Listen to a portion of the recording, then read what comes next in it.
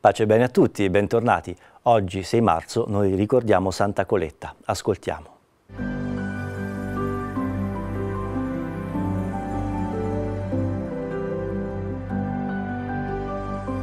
Nicolette Boilet nacque a Corbie, in Francia, il 13 gennaio 1381, da genitori avanti con gli anni. Suo padre è carpentiere presso un convento benedettino. Così Colette, diminutivo di Nicoletta in onore di San Nicola di Bari, cui era attribuita la grazia della sua nascita, cresce respirando Dio.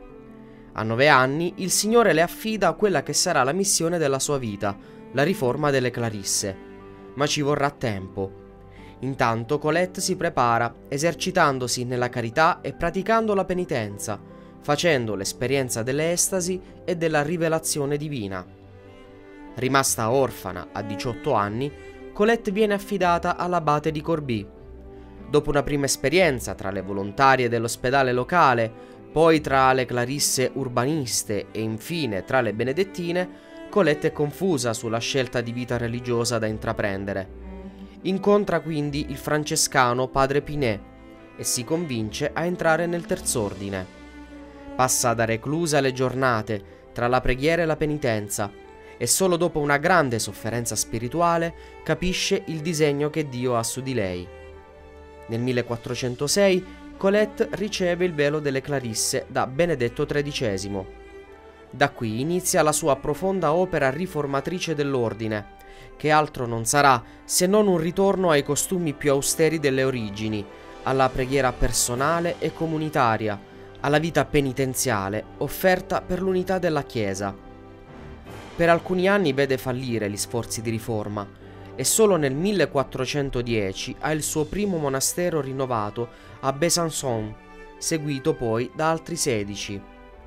La sua opera viene approvata dal ministro generale francescano e nel 1458 da Pio II.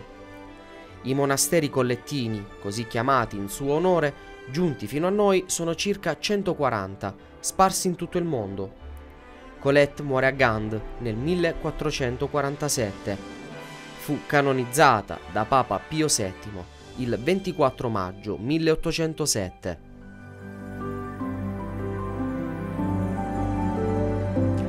Coletta nasce in una famiglia che là quando i genitori erano già un po' anzianotti, pensiamo la madre aveva già 60 anni.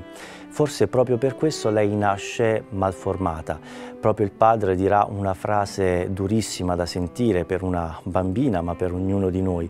Il padre infatti rifiutava di essere il papà di una nana.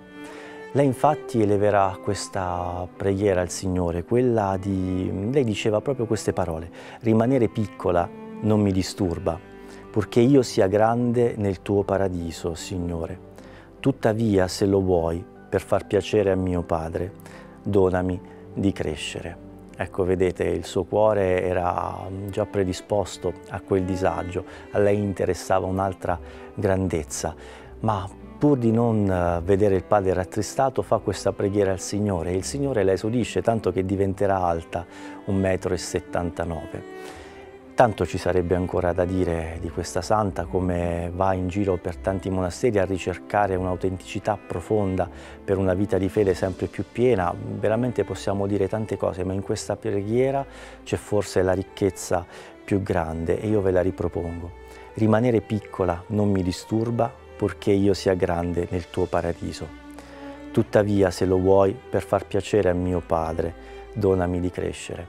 Allora dei nostri tanti difetti, quelli che ci fanno sentire piccoli, forse oggi possiamo fare veramente un'intenzione del genere per dire Signore li accettiamo questi difetti purché poi in realtà nel regno dei cieli noi possiamo essere i tuoi figli belli, i tuoi figli benedetti. Se proprio devi eliminare questi nostri difetti fallo perché sono un peso per gli altri, perché è agli altri che danno fastidio, ma io li accetto e per trovare questa forza e questa fede soprattutto ci affidiamo a Santa Coletta e preghiamo per la sua intercessione. Santa Coletta, prega per noi.